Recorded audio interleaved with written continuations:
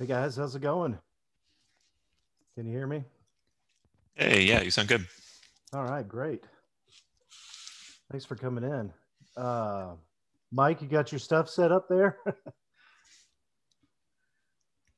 right, maybe he's just getting, looks like it's connecting in ready.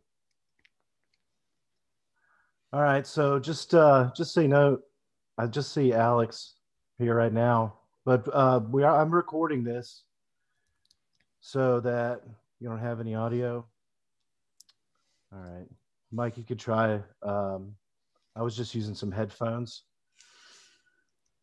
but either way, if you don't have audio, we'll try. I'll try to still walk you through what we can today. I have some stuff here, but uh, again, I'm recording this, so if anybody comes in and um, knows that it will be on recording and what we're going to do today is mike uh, had asked me a couple weeks ago to help him try to get an adjustment. Hey mike try to get an adjustment to his 1343 md i believe is the exact model. And this is a model that um, i have done before.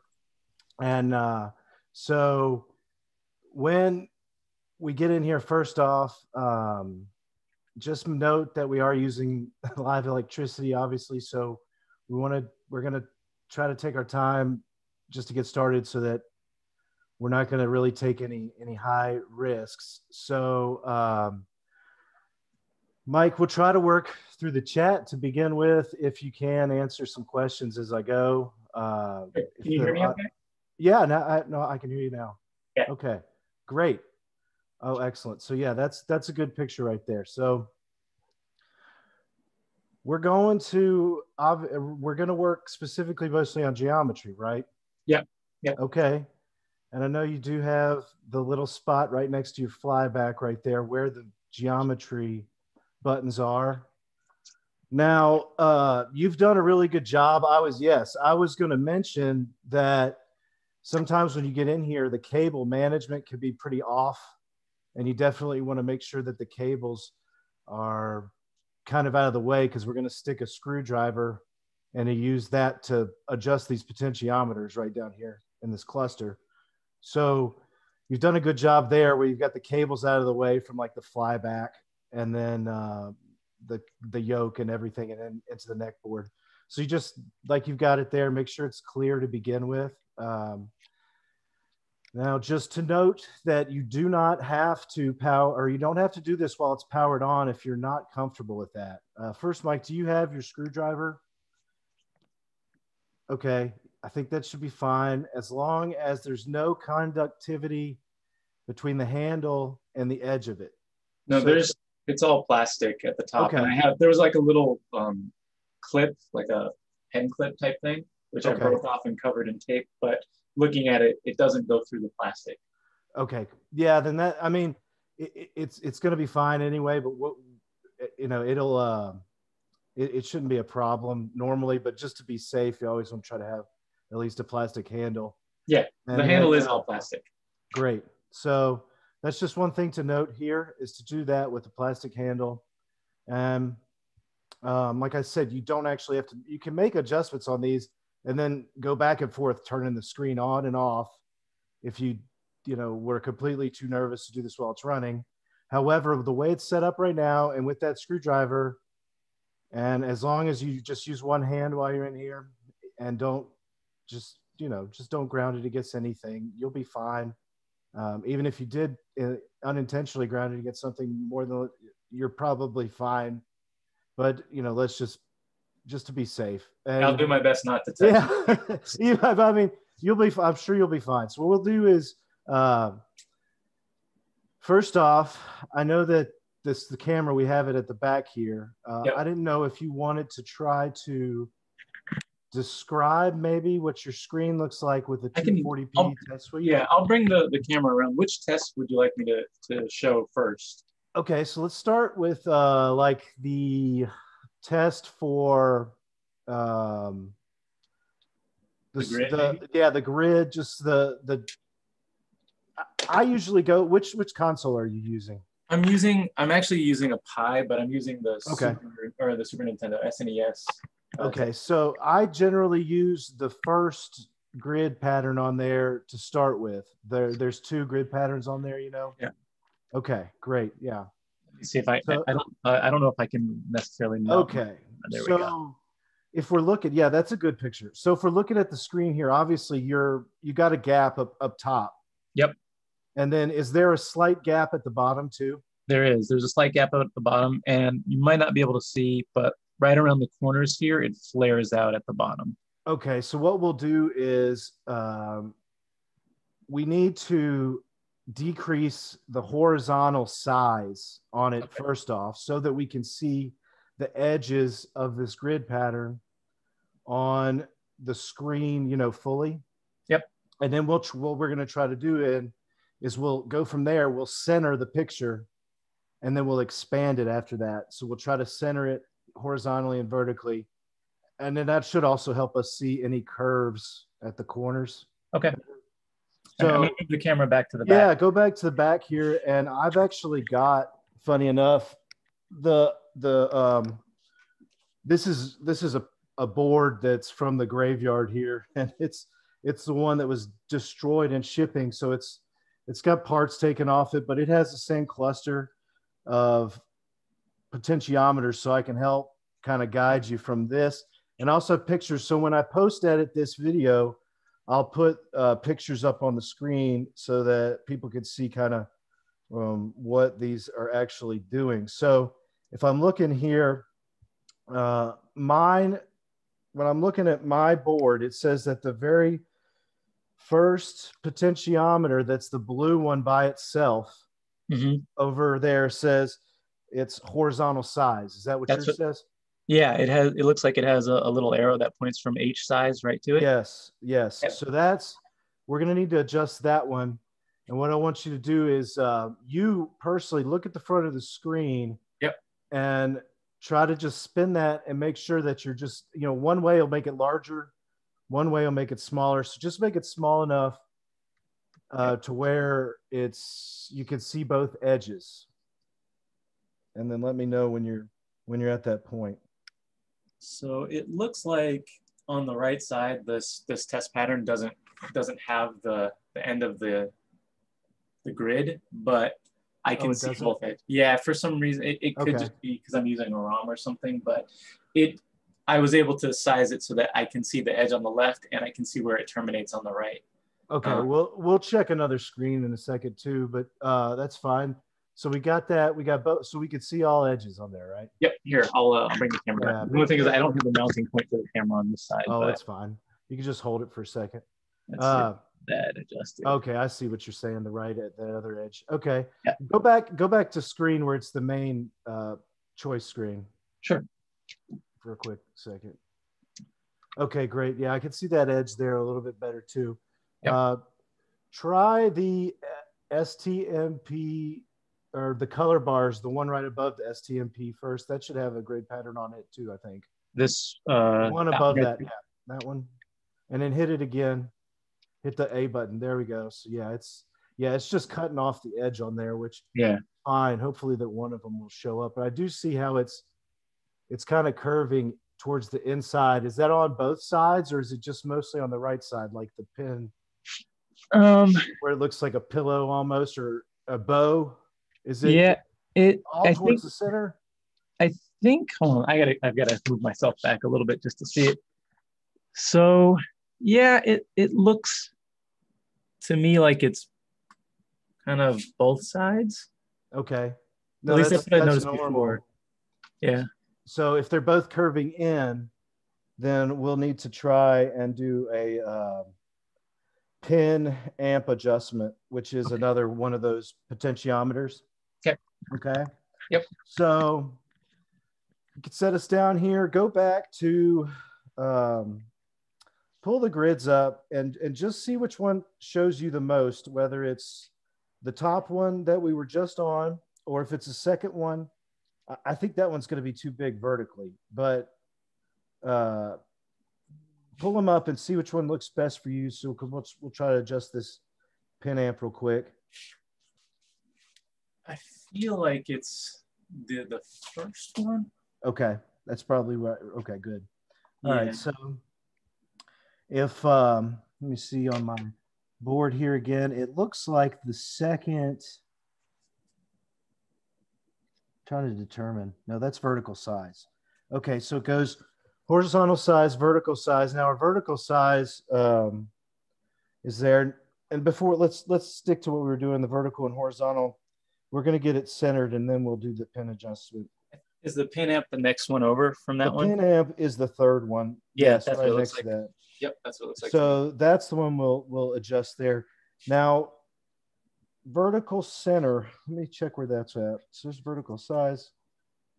Uh, vertical center is the other big blue one at okay. the top opposite of horizontal size that we just adjusted. You see it, okay. the very big odd one. Is it that one right there? That one. That's vertical center. Yeah. So, this this guy right here. That guy right there. So what we want to try to do, and you can you don't have to turn my camera over there because that'll be tough.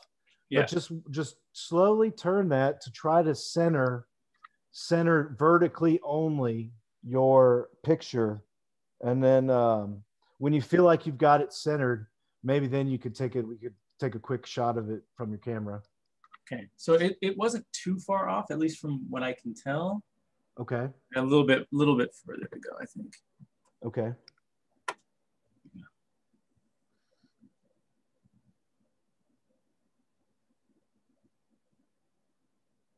Okay, so to my eye, it doesn't look too far off here. Um, okay.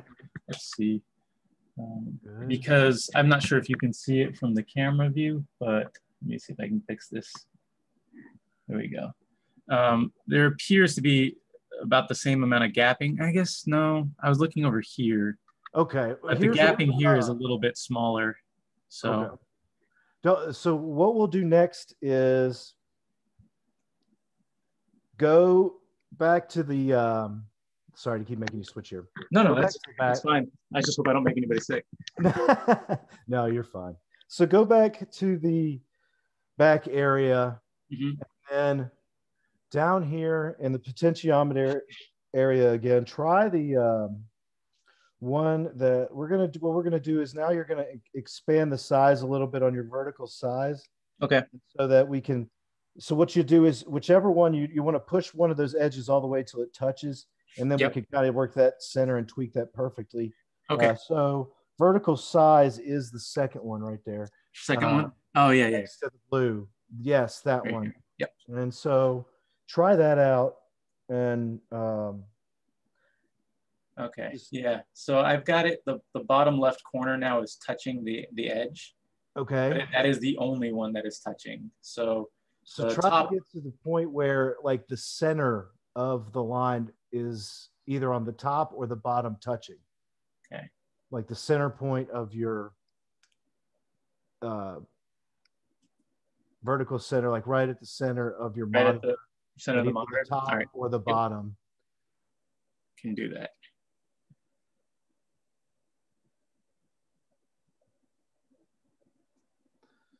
Pull my eyes back here. All right. So like we got that? the top touching right now. I'll bring you back around. Okay, sure. So it's excellent. Uh, let's straighten it out. There okay, so that's good.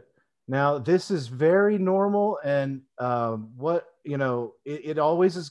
It does tend to flare up a little bit at the corners. That's you know on this these older tubes, especially yep. the 43s. That's not like out of spec or anything. Okay. Okay.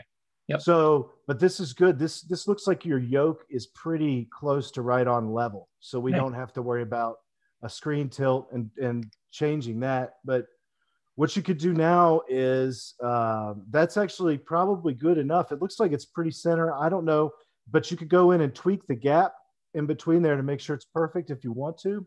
Okay. Um, but that's that's where I'd start, and then when we're done, we'll expand it so that we're using that as our overscan area after we adjust the rest of it. Okay. Okay. That sounds great. So um, I think we got just about everything on here. Let's take me around back to your backside of the monitor for a second, and I'll uh, try to direct you what we'll we'll try next. Um, now horizontal center on this monitor is, is a bit more difficult to get to. Mm-hmm. So I'm hoping that your horizontal center is pretty good. But if it's not, it's a little bit trickier because it's not in the same spot. I see. And uh, so look at your screen and let me know. I mean, is there when you're looking at it, we'll kind of need to do the same thing with the horizontal side. It's going to be more difficult. You might want to back out to a screen that's a solid color. Yeah. Have that edge. Yep. Uh, you can use one of the solid color screens on there, the red, green, and blue color, color screens on the first menu, or just probably the 240p test suite screen. Yeah, I'll use the 240p test suite screen. That seems to work. There, it is not centered. Um, mm-hmm. there is probably almost maybe I don't know a little around maybe three eighths of an inch or something on the right side, whereas the left side is is almost perfectly squared out. Yeah. Okay. Well, see, here's so I'm. I'll show you where it is. Okay. Look, if you. Um, yeah. I don't know if you could see me. I can see. All right. So the area of the board that you're working on is this area. Uh, yeah. Yeah. Yep. So if we go towards almost the top middle where the heat sinks are, in the middle of that cluster, there's this big black potentiometer. Let's see here. Usually that's in there. And it's on the right, it's on the same side. Okay. Wait, go back a little bit. You stop right there. Right here. No, just a little bit to the right, where or towards the sorry, the other side. The other side. Stop right, right there. Okay. okay. And right next to those cluster of heat sinks where you see the connections for the two cables going in. One's from the yoke. That's the red, green, blue, yellow cable. You see that? that uh, let's see here. Like yeah, where it connects to the board. Yeah, I see the. um You see that oh. That black oh, spindle yeah. right there? Yeah, I do see it. Yep. That's that's the horizontal. I don't know why it's all the way over there, but that's yeah. the horizontal center adjustment. So you literally have to stick your hand back in there. Okay. That's the worst one out of all these, obviously, because it's stuck back there, and really, it just makes you nervous to do it. But yeah, it definitely does. Uh, but that's that's the that's the horizontal one. There's not. Uh, know, what should I be wary of accidentally touching as I stick my hand back there? Well, you know, the, you don't really want to touch any of these flyback cables. Okay. Okay. Yeah. Anything, any of those red or black cables the other cables are insulated.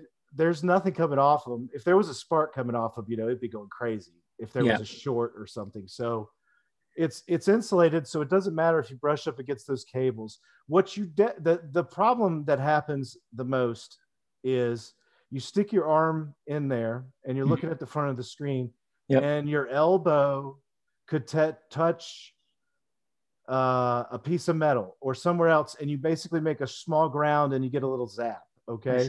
All right. So, like, you know, if your elbow were to hit the back of the input board on the metal part, mm-hmm. then you could make a short through your elbow and then your arm will be zapped, kind of like with, I mean, it's not a huge amount of voltage, but it, it would be like a, it's a small shock. It's like a electrical fence.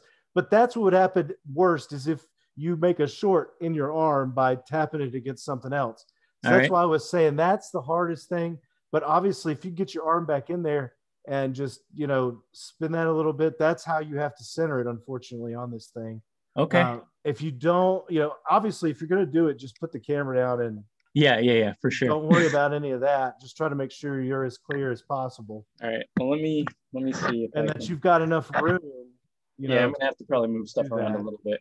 Because, yeah, I, I mean, Thankfully, I have skinny fingers. So we'll yeah, see. you just got to get back there and pinch it and spin it a little bit and do it, you know, ever so slightly and try to get it a little bit to the tour, you know, centered. You see, that's the problem. Is so you got to look at the front of the screen. Too. I want to ask one quick question about sure. the route that I can go in. So, if I were to go in this way, like those black cables look like they're no nos, right? You don't want to go that way. What so I want to go in through this way. No, like you see, you want to try to reach around back okay. through the area where you were working Yep. You have to like skinny your arm Yeah.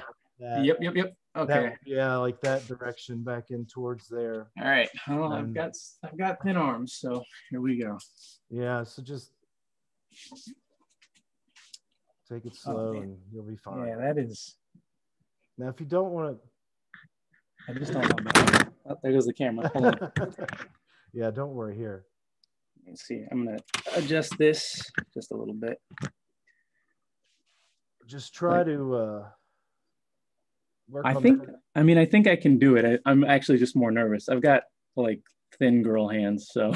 Once you, yeah, well, it's you know that's what this all is about. Is pretty much just nervous. Once you do it, it gets more comfortable, and you realize what's not. You can't really hurt yourself. Ow. Ooh. Something was hot, but yeah, not... those heat sinks are hot. They will get hot. I just can't see what I'm doing over here. Yeah. Um,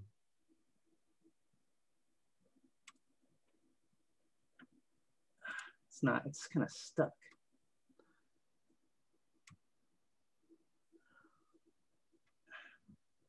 We might not. I mean, if you oh, can't get it, like I said, it's not the end of the world. What you can do. I got to move in a little bit. Here we go. Okay. I was going to say you can turn the monitor off, turn it a little bit, and then turn the monitor back on and check your results for that one. Yeah, I think I'm doing all right here. Okay. my hand out and take a look.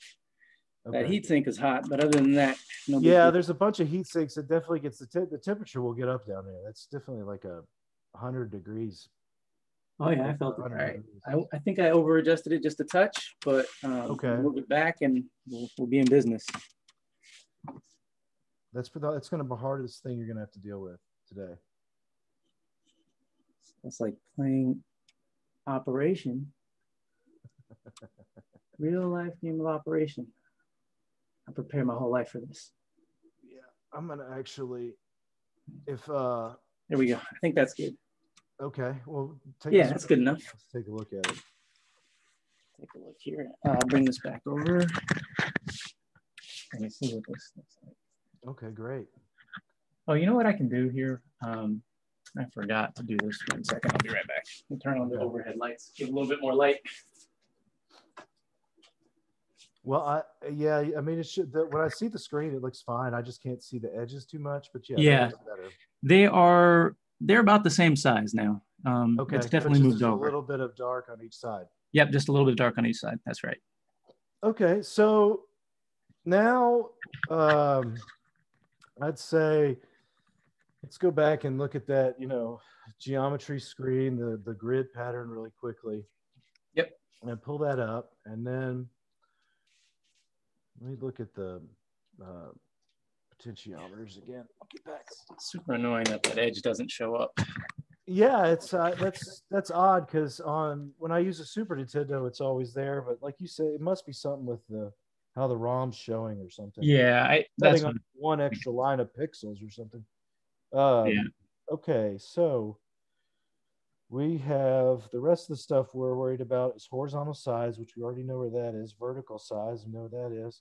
The next one is the pin amp and um, the pin amp is the is will make it it, it, it gives it that bowing bubble or yeah. then you start to bend it and it goes opposite where it becomes like an hourglass okay? right yep so there's a happy medium in there where you kind of have to just turn that let me let's see if we get a.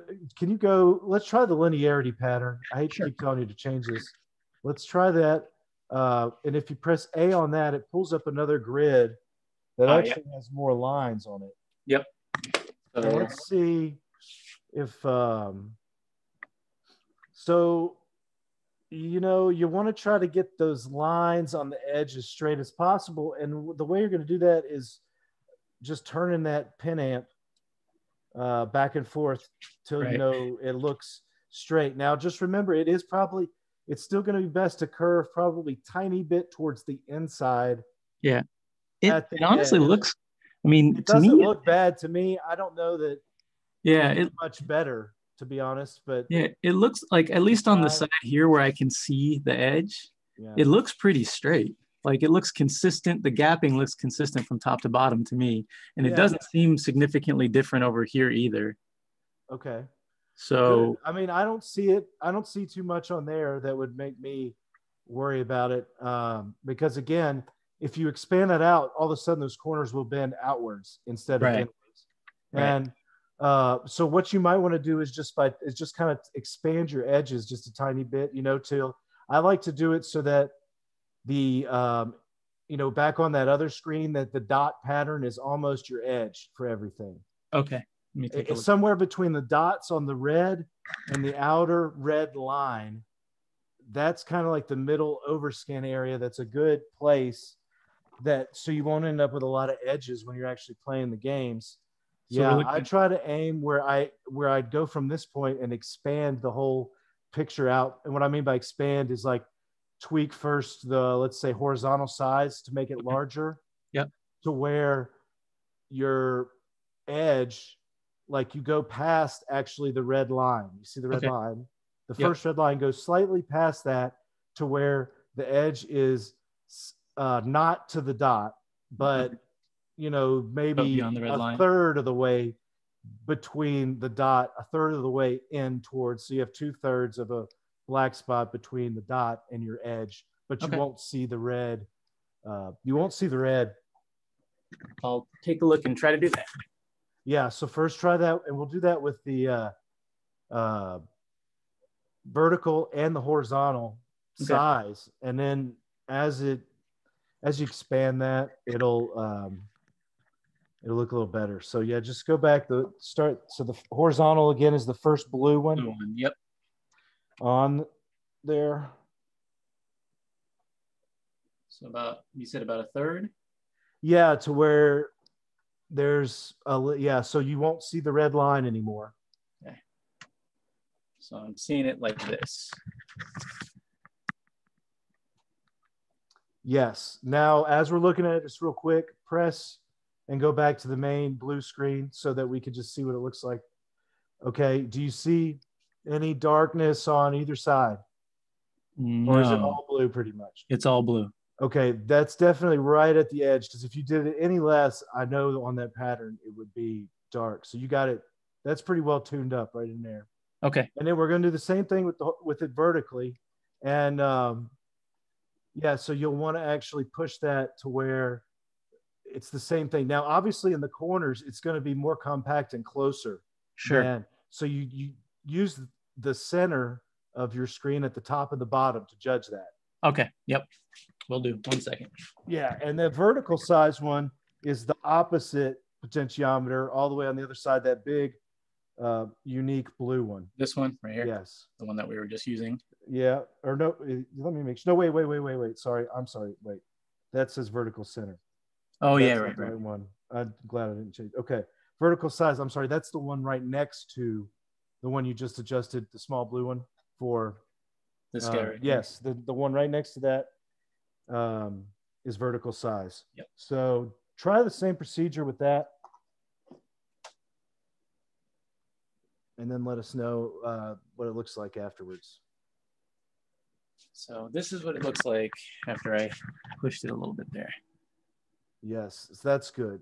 And and I'll be honest with you, that's that looks very good to me. For again, this one is much more difficult because it's it's you know rudimentary. It's Right. it's got the uh, obviously all potentiometers, no service menu. right. For like you have you this one's not been recapped or anything, right?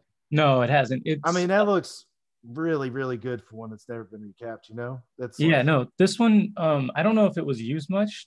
I got it from a guy who used to service arcade stuff Okay. and he gave me two and this was the cleaner one of the two in terms of the image. Mhm. Um and uh, like the brightness on it is great. Like the tube seems to be pretty pretty strong still. Um, Yeah. I, I have the brightness actually turned down just a touch right now. the those ones I, I know that um, they are really a pain to kind of dial in and they don't have as many bells and whistles but the tubes always look amazing on them it's like the same line count as anything like an m2 or um, l2 any of the newer ones the picture can look almost the same the only thing is they have more controls you know Yeah. modernized Yep. and and different things so these ones can still produce great pictures, and that looks pretty good. So uh, what I would do now is just okay. So I just got to notice that we hit 40 minute time limit, but we'll get a little bit extra time. So if this if this does kick kick us out of here, uh, I'll go back and I'll post another meeting. Okay. Everybody, if you hear me, you know, just note that I'll post a new meeting in Patreon, and then we'll just come back and we can we can have a Q and A and stuff after that. Um, so this is looks good to me. I would just uh, check a couple of different screens. You can go to the linearity screen. Yep. Again with the um, loops, and uh, yeah, I don't even see a need to make a linearity adjustment. Okay. That looks really circular, so that's good. And yeah, it looks much go, better than it did. Uh, all right, let's check the go back one screen to the main menu on that test pattern. Uh, you just press B. No, I'm sorry. Go back. Uh, press back to the. There we go. All right. Let's go down and check our scroll test. After that, yes, and do that, and just speed it up a little bit. How do I do that? Press, I think you press up on the controller, oh, and then you press down to slow it down a little bit, stuff like that. I don't see any tearing or warping as it does that. That's what you're supposed to look for here. It looks looks really really smooth to me. Yeah, that's that's. I mean, I don't see any like abnormalities or you know warping or linearity. That's what that's another way to check that linearity is this scroll test. You're supposed to see if there's like a bubble in your picture, and, and there's definitely not. So that I mean that looks good. Do you? Do, what do you think? You have any other questions about it? I'm super happy with it. I think the only other question that I had with any of this stuff was um, when I was looking at the color test, it seemed that the gr- the gray was a bit green. Okay. But um, but when I see like when I see an actual game or if I see this screen, everything looks fine. Yeah. So, okay, go down to uh, there's a color test pattern and where is it? It says it should say red, green, and blue. There it is: white, red, and green, blue screen, yeah. white and RGB screen. Click that, and then go to your red and uh, cycle through. Uh, I think you press either A or. Um, Let's see, it's it's something it up. Gives down. me controls of each one of them. Like everything is at 255 yeah, 255 255 it should but you should be able to go where it should just show red and blue and green and black basically. I can't remember. I think it just hit a button. There you go. There we go. Okay. Red. That red and then green. Blue. I mean they look good okay so yeah i mean it looks good to me i can show you on the back where you can make a color adjustment it's the same it's the same way. I mean, I, I, I think that maybe you're probably better off just playing with that if you want to. Yeah, I think it's I okay to play to, with. But uh, yeah. but just just in case you do, I'll go through it real quick and show okay. you what it is. Yep. So yeah, get set up and then I'll I'll show everybody here on my little uh, cutout. Now there there are some like weird potentiometers, but other than the ones we pretty much went through, the majority of them you're not really going to want to use. You know, there's uh, anybody yeah. who comes and watches this. I mean, I, I, like just the rest of these on here while, while you're getting ready. I mean, they go through things like the under, there's an underscan button so you can tweak the geometry of that. If the screen was tilted or angled in a strange way, there's a couple of changes you can make for that, like a vertical angle. Uh, but that wasn't on yours, thankfully. So yeah. the uh, when you're looking, you don't have to pick the camera up, but when you're looking down from the top, yeah. on your monitor. You see the V board that's on the other side that's yeah. kind of expanded up. And yes, it's got it's got you know set two lines of potentiometers uh, with it's got 11 potentiometers on the board total, right? Like two sets of five yep. and then one by itself. Yep. Okay. So the one that's by itself controls the sub brightness. So if okay. your monitor, now yours didn't look this way, but if your monitor was either too dim or overly bright, just in its normal mode, you could go in here and spin that and make an adjustment to your brightness setting beyond what it does on the front. I see. And then if we looked at both of those things here, it's kind of interesting because there's not a green adjustment on here. It's just red and blue. Uh, I see. And not only that, but it's it's sectioned out here in a couple of ways. First, it'll say 9,300 degrees Kelvin, or I think Yep. that's what the K is. Yep. So that's the color temperature, like almost a color palette. There's a little switch on the back of the monitor Yep. that says 9,300 and 6,500. Yep. Those are two different color settings that are built into the monitor. So adjusting the reds and blues, you can do that. Uh, each one of those has a, a, you know, a different effect. Like there's two for for each of those colors. Some monitors have all the colors, so they'll have two for each color, including green. Unfortunately, I don't know why some of these early ones don't, but they just have red and blue. So this is only going to affect those color palettes individually, those color temperatures. So like you'd, you'd have it set on that one color temperature and adjust this set of four. And then you can move over and you can adjust that set of four. And then if you look next to that, it actually has two by itself that just say RGB. And so those are just the straight blue and red drives for RGB. So while you're using it in RGB, that's just going to increase or decrease the intensity of the blue and red color Yeah. um, overall as it's sitting and going into the tube. Now, this monitor also has some adjustments for all the colors on the front of it. Yep. And those two can be tweaked uh, by hand. You got to stick a small screwdriver. There's don't worry. There's no chance of getting any electricity or you know shorting Right. anything that way. But that's another way you can try those ones on the front for a quick adjustment, and those tend to be easier gain and bias right Yep. there uh, in the front of the monitor. You just stick a potentiometer or a, a screwdriver that fits in there, and it'll it'll adjust that. Okay. I think it looks good. And yeah, I, I do too. Like when I only noticed it on the gray test bars, but when I'm looking at just a, a game or a screen, it, it looks pretty sharp and you know perfectly colorful to me. yeah, okay, I'm- great, I'm, good with it. awesome. yeah. Um, well, did you have any other questions? I, I can. No, I, I'm I'm good. Um, Okay. so let me see if I can get this set up here. So All right. excuse great. my messy office, but No, man, it's good. Thank you so Good see. Absolutely, I'm glad it worked out.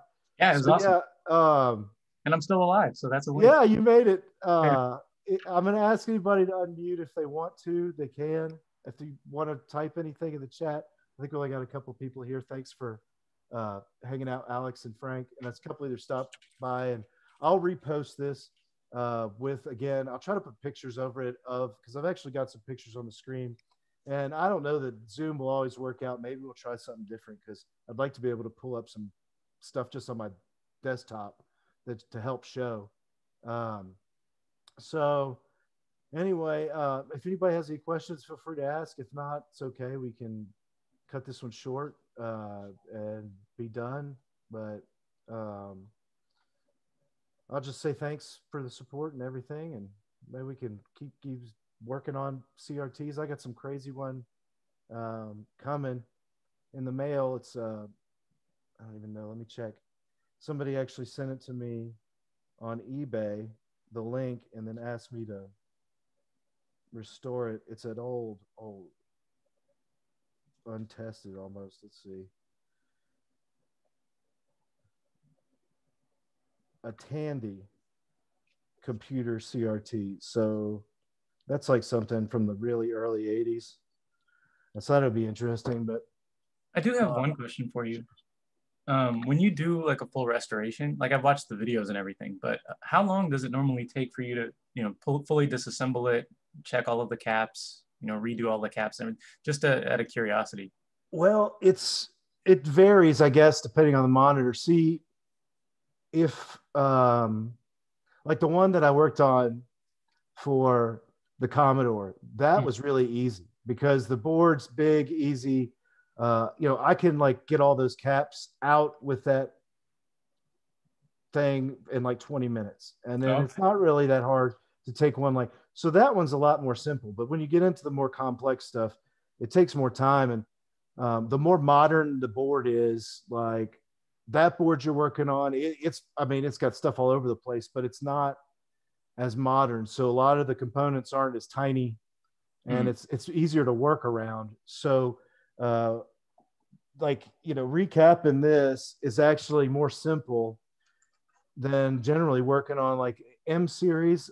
I have a lot of people that unfortunately like damage their boards mm. to where like they'll try to recap it and and it's they could be That's exactly like, why I wanted to ask you today.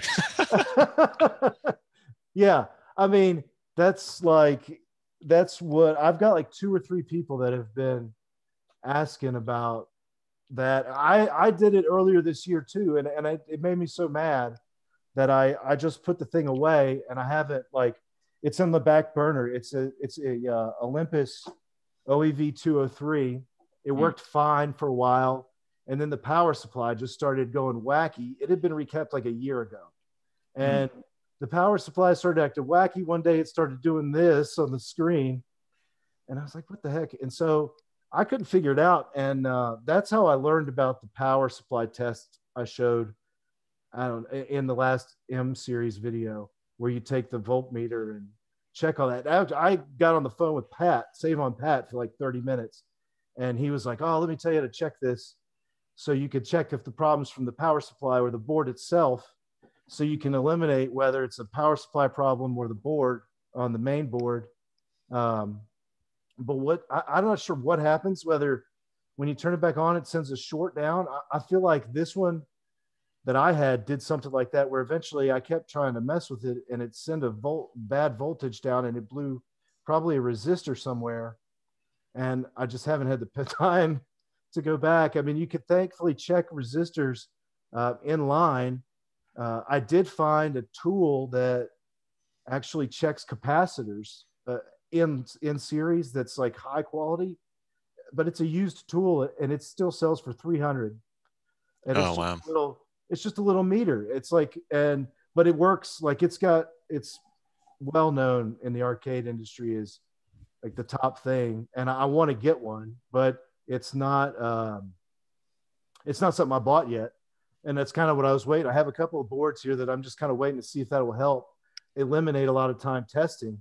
So basically, uh, that's when you start getting into the more extreme troubleshooting where you have to figure out where the problem is on the main board that's been damaged on an individual line you know so what the the power supply does is it sends the power to the main board and um, so if your power supply is good when you check it on 12 volt and 5 volt then you know the power supply is good but it's sending that power into the main board and in somewhere you're having a short so most of the time if you have a short on the 5 volt the power will still come onto the tube but you'll just get no picture you could feel, you know, the static on there. Other times, if the if the higher voltage is out, then generally you don't get any voltage on the tube. And what can happen? I mean, there could be a short somewhere, unfortunately, anywhere on the line. If you look at like a schematic for the M series and you look at that board, it's all in the service manual you you know you'll look at a board and it'll tell you where all the five volt comes in and goes on that line and then it tells you what components are attached to the line the electrical line and you have to go through and either replace them test them and see which ones failed to basically be able to troubleshoot it yeah that's, that's where I, mean. I, feel like i'm stuck right now is that i'm i'm good enough at this stuff to follow directions but yeah. um like after i did the recap i double checked everything it looked good plugged everything in, triple checked that, and then the monitor turned on um, for maybe 10 seconds, made mm. kind of a awkward screeching noise, like no popping or anything. Something like that. Yeah, and yeah. yeah. and then I let it discharge for like 10 minutes, and then when I took a look at it, they um, the power it just is not supplying any power anymore. Um, mm-hmm. So I ordered some more fuses, but uh, you know, other than doing like simple multimeter tests, like I'm not really sure what else to do yeah well and that's what i'm like i know it's gonna it's probably gonna be something that uh, i mean obviously i've got one here and i don't want to have it you know just be sitting here as a dead mm-hmm. 203 and somebody else that um, you know they supposed to that's why i couldn't take yours right away is because they're supposed to be sending me theirs first and then whenever i could hopefully get if i get theirs fixed then you'll be, you know, I'll tell you send yours in. We'll do the same thing, or I'll tell you how I. Obviously, I'll tell everybody how I fixed it if I get it done. But when I talked to Pat, that's what he said. He said it's just a, it's just a bear. It's a time waster. You get, you got to really have kind of a certain level of tools, which unfortunately, like I said, mm-hmm. um, I've not got that cap tester, so I can't go in and quickly just check the caps in line. I got to pull them out and test them to see if the caps are bad, but not, uh, you know, there's something going on in there where when we send the power back through, somehow it's shortened. I'm not sure what's happening.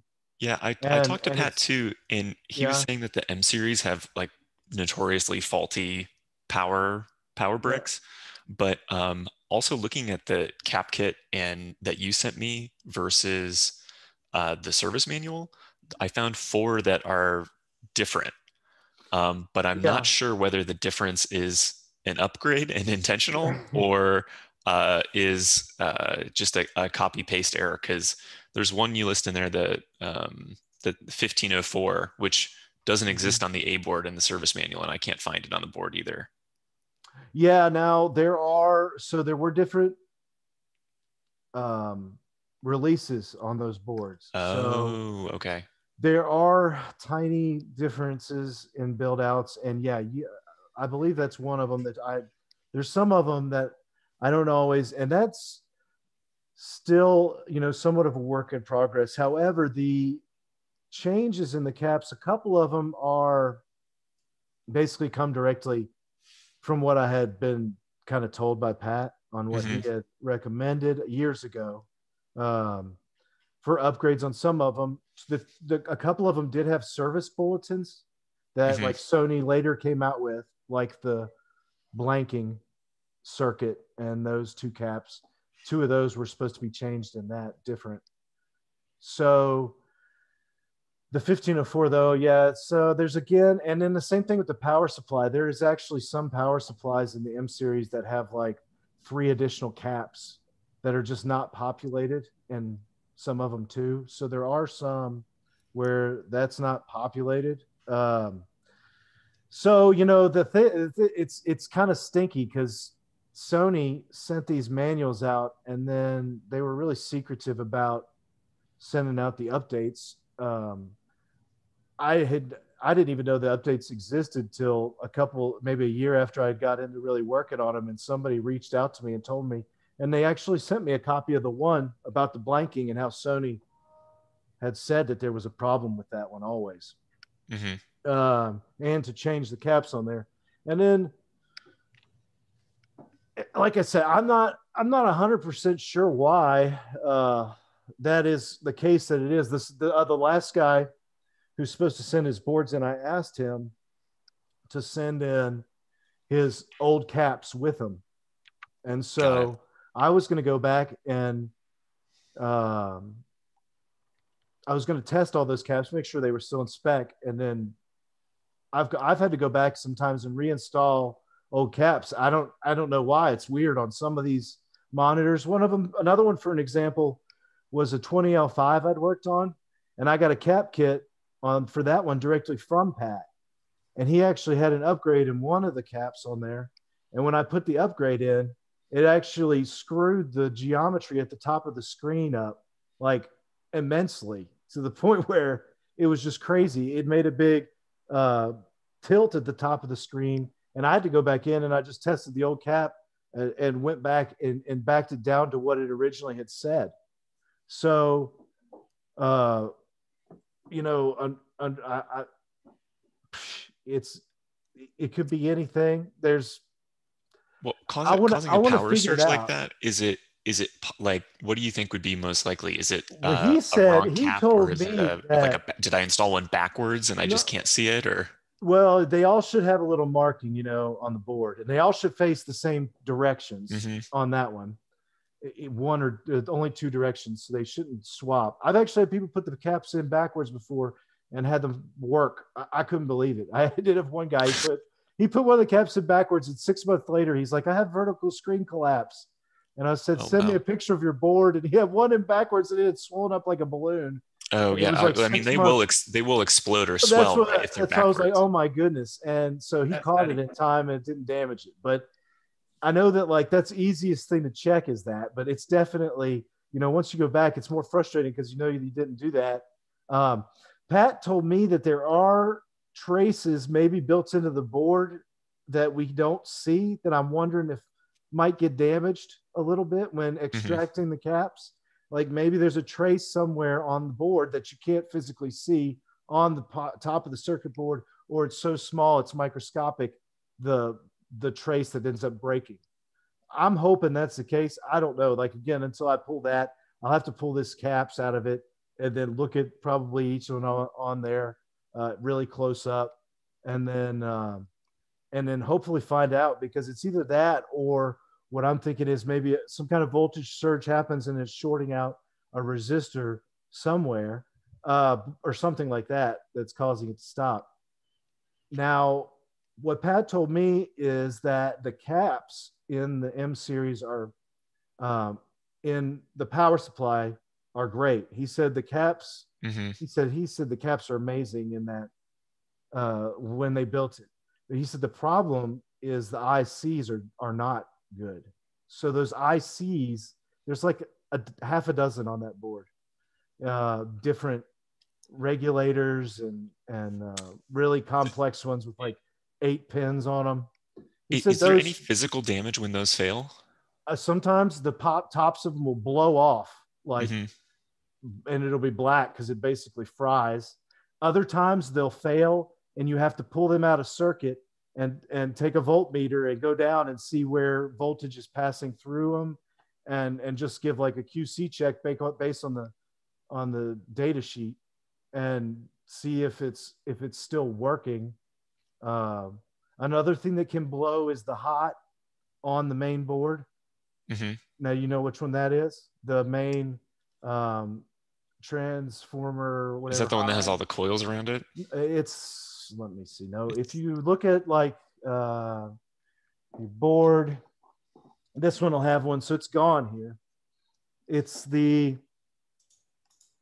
it's on the big heat sink usually Mm-hmm. Uh, and it's the biggest one. It's a three prong chip. Oh, it's okay. generally right next to the flyback in that area.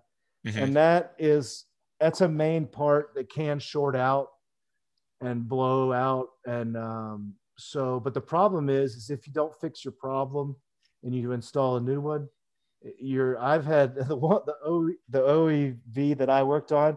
It was terrible because I re- I replaced it and I replaced this part and the screen came on for like five minutes and I thought it fixed.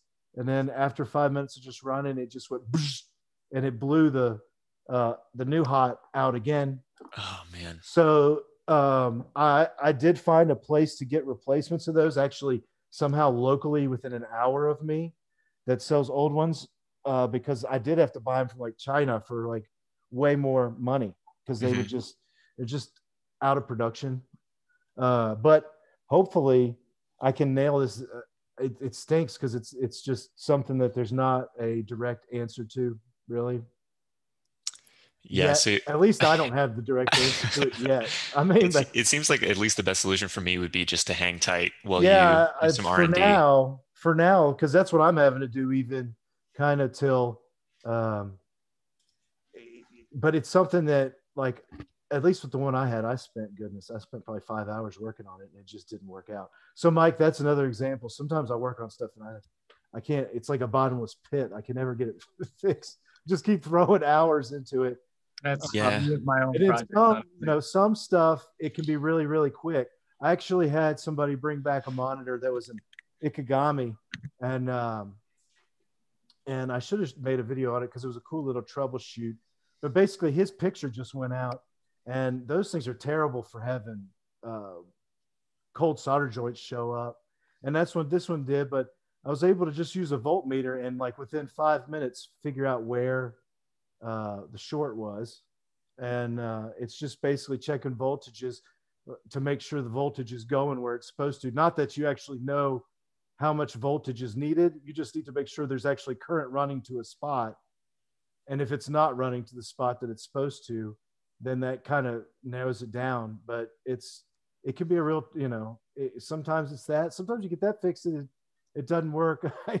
the I had a, here. This is a terrible story. But the guy who uh, had got the, if you guys have seen the video I did last year at the end of the year on the big Mitsubishi, really old one that had all that corrosive damage on the power supply. Yeah, I remember he, that. He he lived in South Carolina. He brought that over here and dropped it off months before this. I fixed it, came and got it, and um, the road was so bumpy between here and there. He got it home and it, it developed a short because I like tested no. and had it running for two hours solid, oh, like before he picked it up. And uh, yeah, he got it home and it could, it just, it would stay on and then turn right off. And I was like, man, it's so that was like the most depressing one was to see that because you're just like, man, I, were, I was hoping that. And I try to, you know, but you still, even stuff like that, you can't really help. Um, and, and sometimes you don't know that, you know, if you, you're buying these monitors or finding them, you don't know if somebody else, I've seen where somebody else has tried to repair something and made mistakes yeah. or done bad repair work that's really eaten up the boards later. But you know, in a general, uh, the ones that I like to recap are the ones that are from the 90s, um, the ones that really need it, at least for now. Eventually, they'll all need it, but some of them can still generally go pretty good uh, if they were made after the year 2000 ish. And uh, like the, the, I got a 2030 in the shop. Those always tend to need the deflection board recapping, at least make them look good. Yeah, I feel fortunate. I have a 20L5 right next to this one right now, and yeah, that one's good. Um, I ended up buying it from a guy, and he uh, he was like, you know, I can't be sure of the hours, but the picture is nice and bright and sharp, and it's it's so bright that I had to turn it down, and it's yeah. just perfectly sharp, and it's like that one is that's the one that when I really want to play something and see it look best, that's that's the one I go to. Yeah, that's a good one. The uh, the 2005s, it's really great because if um, like I've got a D, I've got a D20. I don't have a 2005 anymore. I actually, um, the last one, another patron bought it uh, at the uh, beginning of November, and uh, but I do still have the D20, and it, it's cool, but it has like the same you know tube and does the same things and it's got a lot mm. more hardware, but it's literally way bigger. Mm. Uh, as far as size and weight, like it's a good four or five inches longer, I feel like. Mm. So it's really deep. Whereas the 2005, they actually compacted that and, and uh, like my 1405 is that's my favorite little go-to monitor if I want to like do something real quick or test something because mm-hmm. it's just so easy to move around even. Yeah. Yeah. I'd like to pick up a 14 at some point, but yeah, now they're. It's when you see them and what they cost. Oh, I know. I mean, I'll I trade you, Mike. Got a couple. No trades. No trades. it's um, yeah, those ones are all over the place. Yeah. Um, but anybody else? I mean, Alex, did you have anything else? Um, I mean, I'll definitely we'll keep you know posted on this and keep working on it as we go. It's definitely something that obviously I've, I've been working on. Yeah, for sure. I think um, quickly. I was just I was just looking for some next steps. I was trying to be as meticulous and quadruple check everything as much as I could before asking yeah. more questions. But I think like where I'm stuck on is like, do I install the old caps and then try to replace the fuses and the power and try to bring the power back online? I mean, you could um, definitely try that if you wanted to and see, or mm-hmm. Um, you can also take your meter and I believe that you should be able to test resistors and if you want to go and look in the manual and try to find certain resistors, just to check and see if any of them have blown um, mm-hmm. along those paths. That's what I've tried. Uh, but again, that's that's a pain because man, there are so you talk about hard trying to find the resistors because there's like it's like find this one resistor and it'll be somewhere on that board and that's a tiny little piece. But yeah. I've had uh, like on the D20, I had a resistor short and the tube just went out. Like the picture just went out, and it was just because of one little resistor that kept shorting.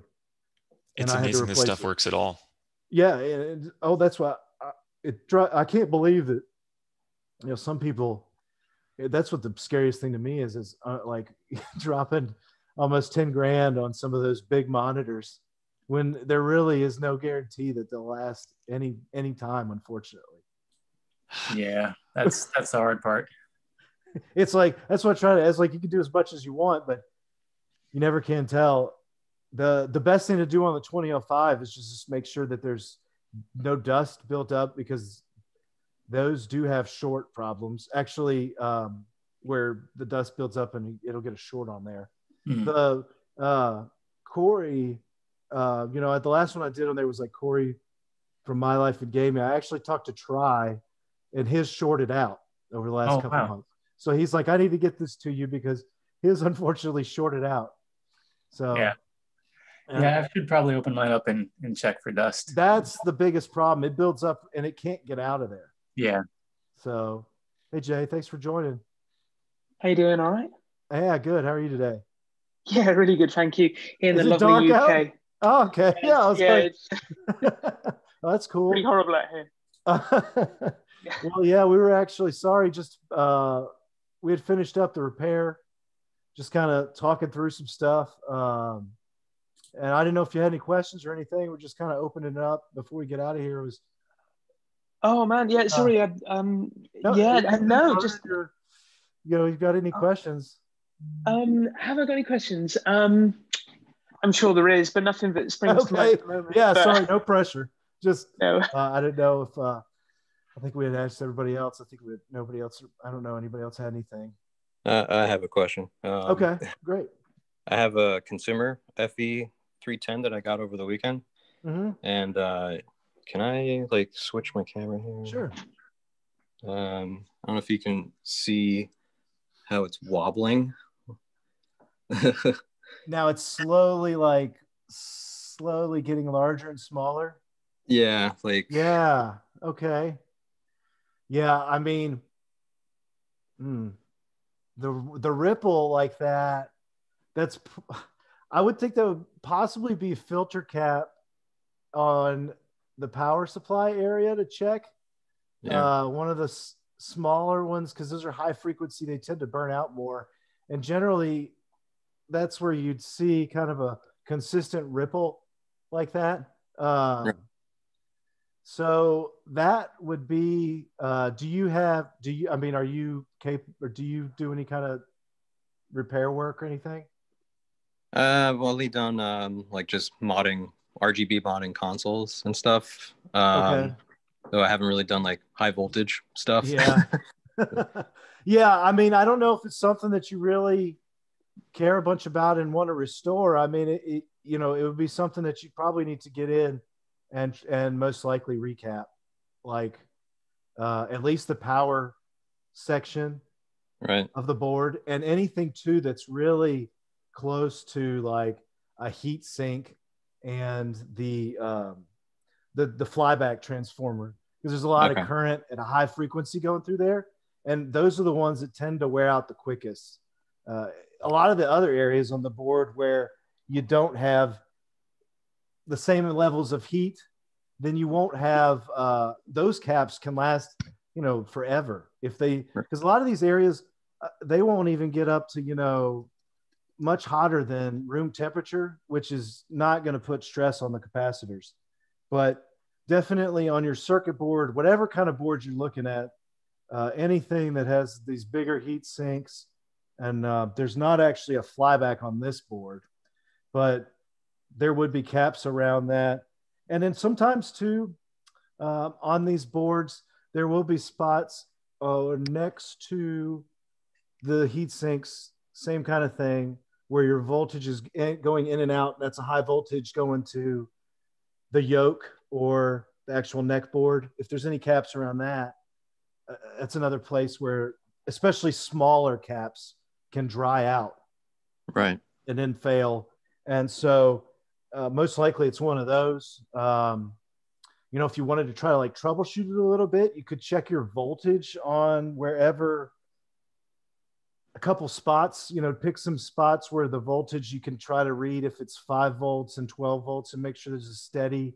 And, and, you know, even if I think you, if you got it near where the, say, if it's a high voltage, it's probably the 12 volt, but it, you could uh, measure and see if your voltage drops a lot from 12 volts and that okay. means that there's going to be a cap somewhere in that line that needs to be replaced. That's kind of that's kind of where I would go from there. It's probably best to do a full recap though, right? Since I'm I mean, if you want, yeah, it, it depends. Yeah, if you want it to make it give it its best chance because the tube still looks good if there's no screen burn and uh, the times that the tube can go bad i feel like, I feel like that it's when you get a faster uh, that's most of the time when a tube i'd be worried more about a tube having a short if it was a quicker jitter all over the whole screen like really fast right so uh, that's that that can be a tube where the tube is just kind of worn out if it gets that or the flyback. Uh, but it it doesn't make any funny noises or anything when it's turned on. Um, not really. Like if sometimes if I have a full like white grid up, um, I'll have I'll hear like a little bit of whine, like coil whine. Yeah, that's kind of normal. But yeah, like no, it's other than that, I think okay. it's okay. I mean, I do have I do have geometry, like some weird geometry issues. Um, yeah that is like exacerbated by the wobbling. I'd definitely try to recap it if you want it. If you want it to like use it for a long time, because right. you don't want to use it like that where it's going to do that. And I'm sure that over time it'll just probably get worse the more hours you put on it. I think uh, that one too is um, more well documented than others. Yeah, there's a good possibility that there you could easily find a service manual for that, and there might even be uh, a lot of times I still Google stuff on there and, and find, you know, Reddit threads or something. Yeah, I found someone that made like a full like list of ca- capacitors for the for the TV. Um, that's good. Yeah, that's that's waste. That's a way step ahead um, most of the time. So yeah, I just go ahead and try that recap. And oh, what I was going to say about the noise, uh, if if the you know if there's weird whining and it dips and drops, that's you know the flyback you can hear sometimes you can hear not everybody can but the high frequency pitch it makes out um, but if there's a problem with the flyback you can generally hear it make like a weird dip sound where it's just not putting out the consistent high level because that's supposed to put out a really quick current that drops in intensity and and then goes back up to a high voltage and drops and does that over and over and over again and if that wears out that then you get a gap in between that drop and then it makes a funnier noise.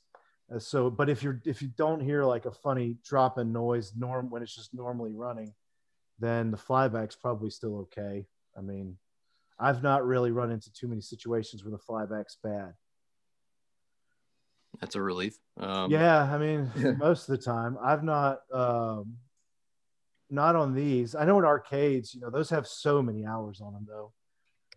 Arcade machines, uh, they generally do have to some people will replace them but you never really want to replace one unless you definitely have to. Now if you guys do it has happened uh, and i don't even have the flybacks but save on pat usually does and he sells them for i think like 50 or 70 bucks or something. So it's nice to at least you know if you need one uh, sometimes he has them he's still going at it at like mid 80s yeah it's it's amazing. Um, occasionally I, I dropped in a few emails. Usually I, I answered my own questions, just sending him an email and detailing the, you know, really going into details into troubleshooting. And then half an hour later, I solved the issue.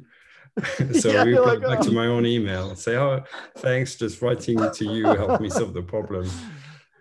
It's just I, like I, finding something in the fridge. Like you have to ask where it is, and then all of a sudden it appears.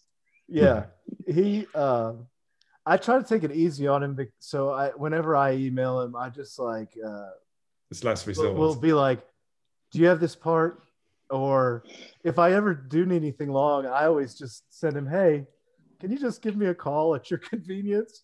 And then I end up being on the phone with him for like 30, 45 minutes. And he's always like, I gotta go. I gotta get out of here. And so I feel kind of bad because I'm just, anytime I get to talk to him, I'm just trying to, you know, any trick that he knows I'm like, you got to tell me before, you know, he won't be doing it anymore. And then nobody, uh, you know, the, the thing that, and I don't know if a lot of you guys know this, but I talked to him for a long time, and he before he worked for Sony, he worked for B and K Testers, which makes the tube testers that I've actually got one. I've been restoring it. The problem is I haven't made the adapters for it because there's it's this one we'll work on there's few models that will work on PVMs and BVM tubes as a tester and even as a recharger. So if you have a bad tube that doesn't have burn in it and it doesn't have a specific color completely out, you can potentially recharge it. Uh, it doesn't always work. Sometimes it's short still, but anyway, he worked for the company that designed and he was the lead engineer to like design and sell those and service them. He went all over the world, like giving presentations on this machine that was used to rejuvenate all the tubes. And then he was approached to go work for Sony and, and he was in the lead of their, you know, the, the cutting edge, which would have been Hollywood in the 90s and 2000s when they were using CRTs. And he was just servicing them uh, to every production studio or production business in California.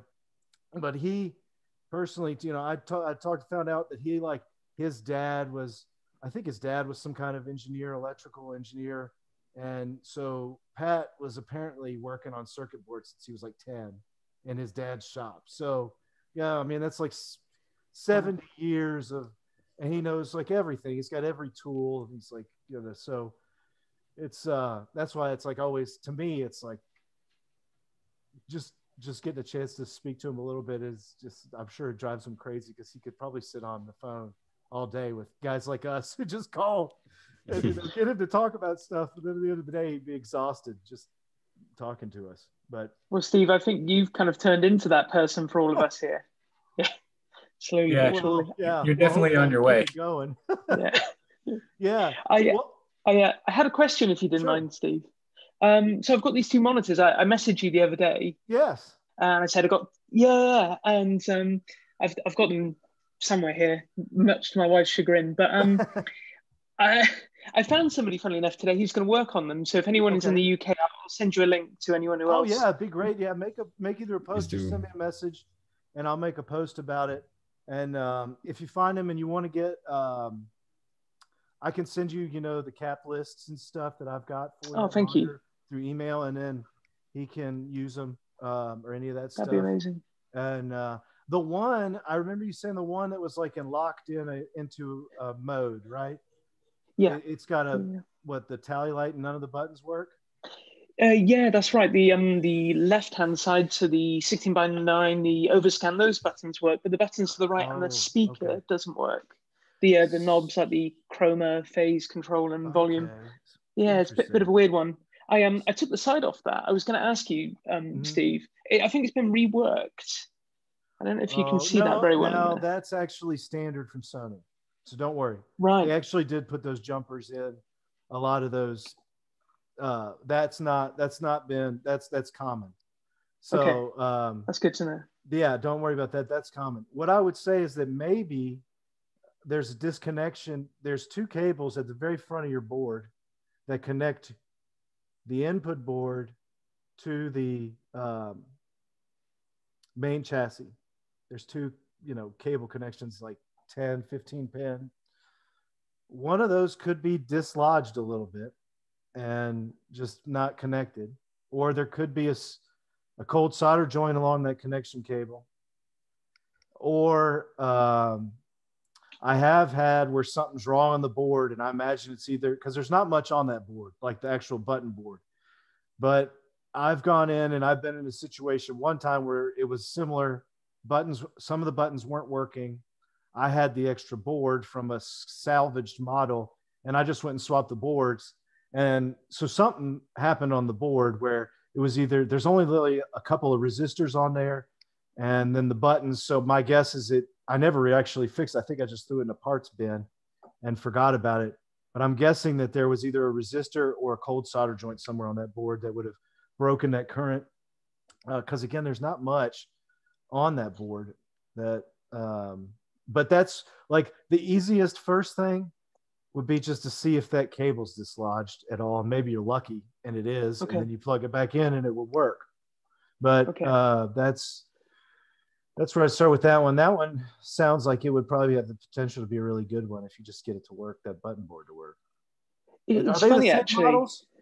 Yeah, so one is uh, older than the other one, and I took the back off both. And funnily mm-hmm. enough, the one that looks newer seems to have more issues, whereas the one that's been reworked um, has, has, less issues. I know it sounds that's silly, possible. but j- just to give you some context, it was pretty, um, really, really, really dusty in there yeah. to the point where um, it sounded like a bit of a fireworks factory with all the crackle when you turn them off. So uh, yeah, yeah, it was pretty, well, pretty messed up in there. I was just going to say if they're both the same monitor, and um, depending on whether one is, you know, if both of them aren't completely fixable, you could use the, you know, you could have your tech use the boards to make you one really awesome one, and that's that's usually that happens a lot where I'll have somebody bring in. I mean, the guy I've got stacks of them here still that that's one of the things that's got a tube short problem and a bunch of them. But you know, like he brought sometimes people bring in a couple of the same monitor that are in like really rough shape, and then we try to I try to get you know one good one out of two bad ones. So I, I know for sure that you probably could do that because I guarantee the button board, if the but if it's not the cable connection, more than likely it's something on that button board, and then that. Okay. So you know, worst case scenario, you could take it out of the other one that that probably has a good button board and put it in this one and be fine. Um, mm-hmm. but you know, either way, and if the other ones, if they're both savable though, you could, you know, have two and then, you know, have more than just one in parts. well, um, my wife seems to be thinking that I'm keeping one, so we'll see how that yeah, goes. we'll see. So, there you go. So you could just tell her the other one was just for parts and, and make sure it's working. Oh yeah, absolutely. But thank you. I yeah, absolutely. That. Um, yeah, I don't know. Did anybody else have anything else here? I don't know how. I am surprised Zoom. I guess it's it's the first time they just let us roll on forever because I know we're well over 45 minutes. All right. I don't see anything else. Anybody? Last chance. I just want to say thank you so much. Thank you so yeah, much. Oh, yeah, thanks, Steve. That was awesome. Yeah. Yeah. Hey, absolutely. thanks again for coming in, everybody. I will try to make this more of a frequent thing for sure. At least once a month. If you do have anything that like, you know, want to try like Mike did today and you want to have your topic be it, let me know and I'll definitely schedule you and we can work on it together and uh, just do whatever we can. Okay. Yeah. Thank you so much. This all right. Is, yeah. Thanks awesome. guys. Yeah. Have it's amazing. Day, all right? Thanks, Steve. Yeah. Take care, everyone. Take care. Have Thanks, a good Steve. One, guys. Bye.